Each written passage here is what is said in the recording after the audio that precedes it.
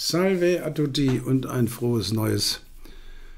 Ich hoffe, ihr seid alle gut rübergekommen und wir haben hier schon eine sehr, sehr spannende Woche hinter uns. Die erste Woche im Januar. Es gibt da so eine Art Indikator, der sagt, wird die Woche gut, wird das Jahr gut, wird die Woche schlecht, wird das Jahr schlecht.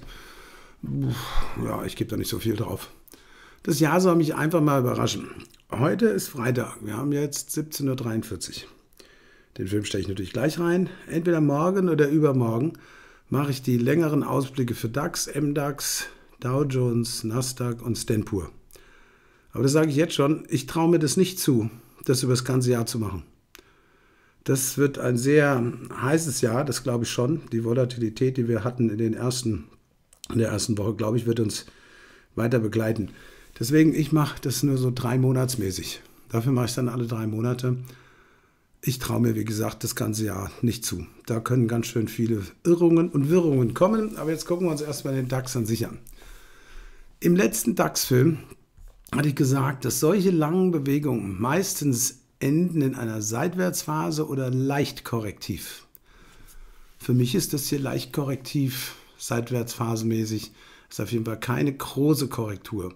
Irgendwo runter zum 38er oder 50er. Um das mal auf den Punkt zu bringen, mache ich folgendes. Von meiner guten Bekannten, der Karin Roller, habe ich gelernt, ich soll einfach mal mehr auf dieses 23,6er Fibo Retracement achten.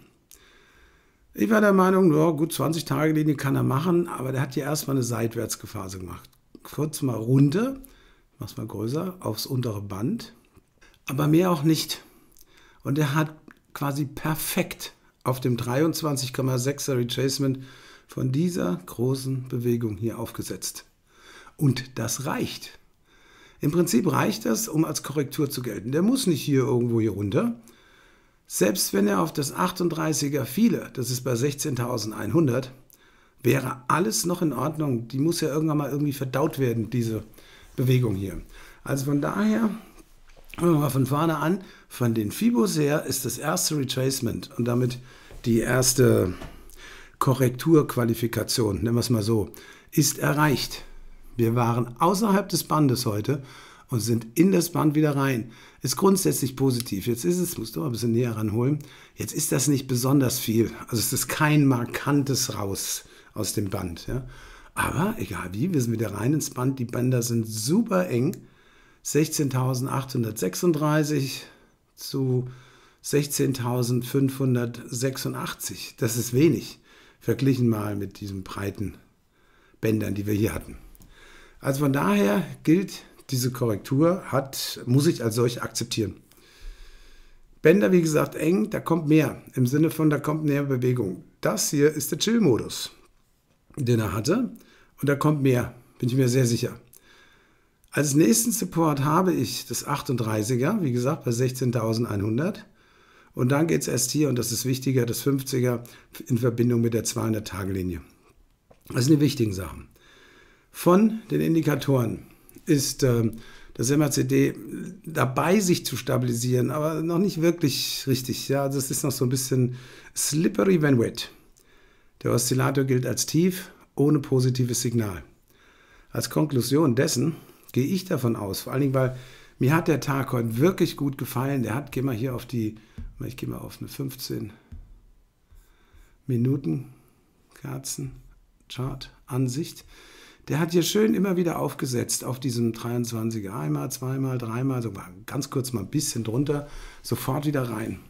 Das hat mir gut gefallen, wie der heute gehandelt hat. Auch teilweise die, die schnellen Bewegungen. Ich meine festzustellen, was ich so lese, höre, rede, ja, ist doch zu hoch und wir müssen runter und wieder auf 15.000. Noch nicht. Aber da, da, gehe ich im Jahresausblick gehe ich ein. Ähm, achso, in dem Zusammenhang, nächsten Mittwoch mache ich keinen Film, ich mache den am Donnerstag. Dafür fällt er am Freitag wieder aus. Ich mache nächste Woche einen, weil ich springe nämlich am nächsten Woche in den Garigellen rum. Ich muss erst mal gucken, wo das überhaupt liegt. Und ähm, deswegen werde ich am Freitag keinen machen können. Aber zurück hierzu, ich rechne damit, dass wir in den nächsten drei, vier Handelstagen uns nochmal mit der 20-Tage-Linie befassen. Die ist ja nicht weit weg, 16.710. Das ist nicht viel. Ja? Dass wir nochmal hier in die Bänder reintauchen nach oben.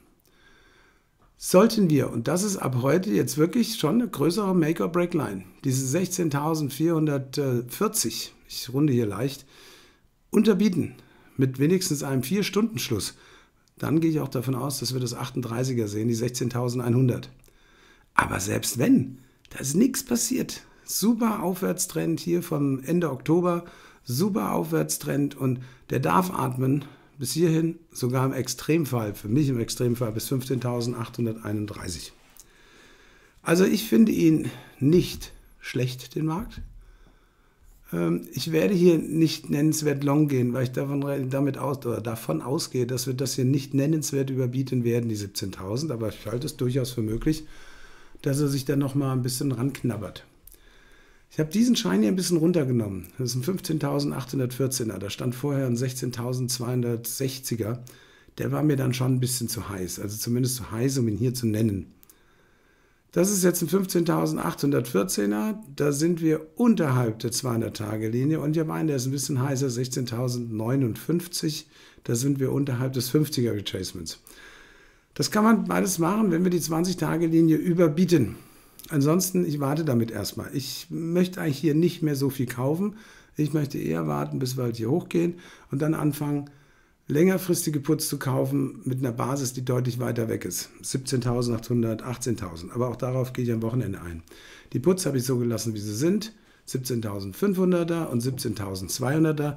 Also die kennt ihr schon. Nochmal morgen oder am Sonntag stelle ich dann den Film rein mit dem längerfristigen Ausblick und ansonsten wünsche ich euch ein Happy Trading und fette Beute. Bye bye.